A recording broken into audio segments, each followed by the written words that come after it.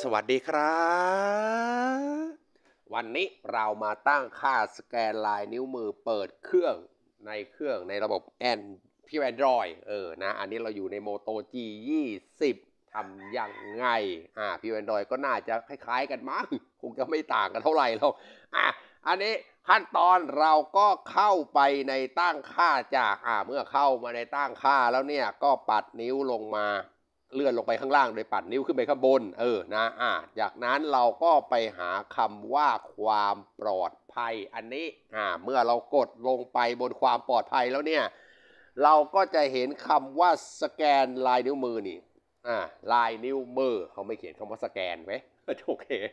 อะสังเกตดูนะ อย่างแรกก่อนที่คุณจะทำการตั้งค่าสแกนลายนิ้วมือ คุณจะต้องตั้งค่าล็อกหน้าจอด้วยพินด้วยเอ่อด้วยรหัสผ่านด้วยรูปแบบอะไรสักอย่างหนึงอะทำการทำการล็อกตรงนี้ขึ้นมาก่อน ล็อกยังไงไปดูคลิปย้อนหลัง โอเค อ่า เมื่อเรากดเข้าทำพิน อ่าทำการล็อกพินตรงนี้เสร็จแล้ว เราก็มาที่ลายนิ้วมือ อ่า กดไปในลายนิ้วมือ เขาก็จะถามหารหัสพินของคุณ หรือรูปแบบการล็อกหน้าจอของคุณเนี่ยคุณก็กรอกลงไปนะ อ่า กดลงไปผ่าน เข้ามา อันเนี้ยเขาก็จะบอกว่าเพียงแค่แตะที่เซ็นเซอร์อ่าเพียงแค่แตะที่เซ็นเซอร์เนี่ยก็จะปลดล็อกหน้าจอของคุณแต่โปรดระวังว่าลายนิ้วมือของคนอื่น อาจจะมีความใกล้เคียงกับคุณ ก็แต่มันน้อยอะผมว่าน้อยน้อยน้อยเออนะเอาประเภทแบบลายนิ้วมือเหมือนเรานี่ยากมากเลยพูดก็พูดเถอะอะลายนิ้วมือคุณอาจจะไม่ปลอดภัยเท่ากับระบบพิน อันนี้เขาก็บอกว่า คือลายนิ้วมือนี่มันเอานิ้วแตะโอกาส โอกาสพลาดมีอาจจะมีหนึ่งในล้านหรือหนึ่งในแสนก็ช่างมันเถอะนะแต่ก็เขาก็เตือนว่ามันอาจจะไม่ปลอดภัยอ่าคุณก็ต้องช่างใจในการทำนิดนึงว่าเออจะมีใครลายนิ้วมือเหมือนเราไหมอ่าแต่ถ้าคุณคิดว่ามั่นใจไม่มีใครลายนิ้วมือเหมือนเราเราอ่า เราก็ทำการกดคำว่าต่อไปเพื่อตั้งค่าสแกนลายนิ้วมือเขาก็จะบอกให้คุณแตะที่เซ็นเซอร์ด้านหลังเครื่องอืมเครื่องคุณอยู่ตรงไหนอะอ่าตรงนั้นนั่นแหละเออนะมันจะมีแป้นสแกนลายนิ้วมือ พี่ก็เอานิ้วไปแตะแตะตรงนั้น แตะลงไปเขาก็จะบอกให้คุณแตะอีกครั้ง เออแตะไปเรื่อยๆ ไม่ใช่แตะแบบเดิมนะพี่ อันเนี้ยเขาก็จะบอกว่าการแตะของคุณเนี่ย คุณจะต้องแตะเอ่อเพิ่มส่วนอื่นๆ ของลายนิ้วมือด้วยเวลาแตะที่แป้นเนี่ย คือคือมันแตะตรงปั๊บเอียงข้างซ้ายบ้าง เอียงข้างขวาบ้าง เอียงข้างข้างบนบ้าง คือให้ ให้ลายนิ้วมือของคุณในทุกๆสัดส่วนของนิ้วมันถูกแตะไปบนแผ่บนบนแป้นมันอะเพื่ออะไรเพื่อคือเวลาคุณใช้งานคุณต้องเข้าใจอย่างหนึ่งนะเวลาใช้งานเนี่ย นิ้วนิ้วคุณเวลาแตะลงไปอะมันไม่ได้เป็นมุกองศาเดิมตลอด รับรองหรอกร้อยเปอร์เซ็นจริง ๆ มันยังไงก็บางทีมันสแกนไม่ออกอะได้นิ้วมือไม่เหมือนเดิมไม่เหมือนเดิมเพราะอะไร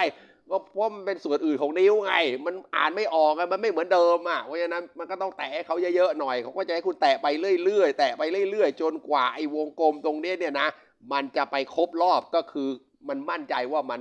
มันเก็บทุกสัดส่วนของนิ้วคุณแล้ว เพราะฉะนั้นเวลาแตะลงไปบนแป้นเนี่ยมันก็จะปลดล็อกหน้าจอได้ไง เพราะฉะนั้นเวลาแตะเนี่ยกรุณาแตะให้มันให้มันหลากหลายหน่อย ไม่ใช่แตะแบบเดียว แต่ผมเคยเห็นผมเคยพาคนทำทีหนึ่ง อ้พี่เขาพี่เขาแตะอยู่อย่างเดียวเอานิ้วแตะอยู่แค่นั้นแหละแตะแตะที่เดียวที่ที่ที่เดียวจุดเดียวอย่างนั้นอะโอ้พี่เวลาพี่ เวลาพี่จับโทรศัพท์ขึ้นมานะมันไม่ใช่ว่านิ้วนิ้วพี่มันจะแตะรูปแบบเดียวหรอกมันแตะหลายแบบบางทีรีบรีบๆแตะรีบรีบๆก็แตะแบบหนึ่งใช่ไหมถ้าไม่รีบก็แตะแบบหนึ่งเออเพราะฉะนั้นคุณต้องแตะให้มันหลากหลายหน่อยแตะให้มันทั่วๆนะเขาเขาคือเขาอยากเห็นลายนิ้วมือคุณทั่วๆเพราะฉะนั้นคุณก็ต้องให้แตะมันทั่วๆเออเมื่อแตะเสร็จแล้วอะมันจะครบรอบแบบนี้อ่านะ มัน มันมันบางทีแตะแล้วมันมันไม่วิ่งก็หมายถึงว่าคุณแตะเหมือนเดิมเข้าใจไหมคือมันถ้ามันไม่วิ่งคุณแตะเหมือนเดิม คุณแตะให้มันไม่เหมือนเดิมอะนิ้วอะที่แปะลงไปบนบนแป้นนะให้มันไม่เหมือนเดิม ถ้ามันไม่เหมือนเดิมมันก็จะเก็บไปเรื่อยๆเก็บเก็บเก็บเก็บทุกมุมขององศานิ้วคุณเสร็จปั๊บมันก็จะเต็มแบบนี้โอเค ก็ถือว่าเสร็จสิ้น ข้อแนะนำข้อแนะนำข้อแนะนำในการตั้งค่าสแกนลายนิ้วมือ เมื่อแตะเสร็จแล้ว คุณก็ควรจะกดเพิ่มอีกหนึ่งนิ้วหนึ่งนิ้วนี่หมายถึงอะไรอ่า สมมติคุณถนัดนิ้วนิ้วชี้อ่าคุณแตะมือขวาเสร็จปั๊บคุณก็ควรจะมาเพิ่มอีกลายนิ้วมือหนึ่งกดเพิ่มปั๊บก็เอามือซ้ายทำทำเหมือนเดิมพี่ทำไปเรื่อยๆทำให้มันเสร็จนะนะพอมันเสร็จแล้วสแกนลายนิ้วมือได้สองนิ้วปั๊บคือสองมืออ่ามือซ้ายนิ้วหนึ่งมือขวานิ้วหนึ่งเพื่อความปลอดภัยบางทีแล้วแหมมันเข้าใจไหมบางทีเรามือหนึ่งอาจจะไม่สะดวกหรือมือหนึ่งอาจจะใส่ถุงมือหรือว่าเข้าเฟือกอยู่อย่างเงี้ย มันจะได้มีอีกมือหนึ่งเอาไว้สแกนไง เออนะ เมื่อสแกนแล้วดูอีกหนึ่งนิ้วเสร็จแล้ว ก็กดคำว่าเสร็จสิ้น มันก็จะกลับมาที่หน้านี้ อ่ากลับมาที่หน้านี้ก็จะสังเกตเห็นว่าเราตั้งค่าเอาไว้ 2 ลายนิ้วมือ เออ อันเนี้ยก็เป็นการตั้งค่าสแกนลายนิ้วมือ ในเครื่อง p u r Android ในเครื่อง Moto G20 อันนี้ก็เอามาทำให้ดู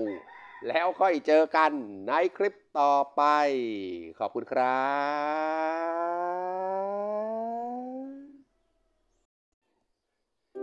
เดี๋ยวเดี๋ยวเดี๋ยวเดี๋ยวเดี๋ยวเดี๋ยวปอลอตอนท้ายอีกหน่อยหนึ่งสำคัญ อันนี้สำคัญนะอ่าหลังจากที่คุณตั้งค่าสแกนใบหน้า หรือสแกนลายนิ้วมืออะไรก็ตามในเครื่องโทรศัพท์ของคุณแล้วเนี่ยแนะนำว่าคุณควรจะต้องเปิด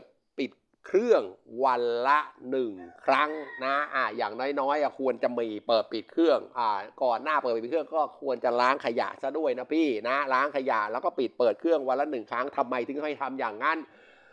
เพราะว่ามักจะมีคำถามอยู่เสมอว่าลืมรหัสผ่าน การที่คุณปิดเครื่องลงไปแล้วเปิดเครื่องขึ้นมาหนึ่งครั้ง คุณจะต้องทำการปลดล็อกหน้าจอด้วยพินด้วยรหัสผ่านด้วยรูปแบบอะไรที่คุณตั้งไว้นั่นแหละหนึ่งครั้งก่อน ที่จะเปิดเครื่องได้ อันนี้ควรจะตั้งควรจะทำเพราะทำไม เพราะคุณจะได้ทำการปลดล็อกหน้าจอวันละหนึ่งครั้งเป็นการทบทวนรหัสผ่านรูปแบบพินรูปแบบอะไรสักอย่างที่คุณตั้งไว้อะที่ล็อกหน้าจอนะเออที่มันว่าไม่งั้นคุณก็ลืมดิเออนะถ้าคุณไม่ปิดเครื่องเลยเนี่ยนะแล้วคุณไม่ไม่ได้ทบทวนวันละหนึ่งครั้งเนี่ยรหัสผ่านคุณไม่ได้กดอนามผม ลืมพี่ลืมครับ ลืม เพราะฉะนั้นเนี่ยนะ อันนี้เป็นคำแนะนำตอนท้ายหน่อยหนึ่งว่า คุณควรจะทำนะ เพื่ออะไรเพื่อให้ได้ทบทวนไง แค่นั้นแหละไม่มีอะไรมากมายฝากไว้ประมาณนี้แหละไปแล้วจ้า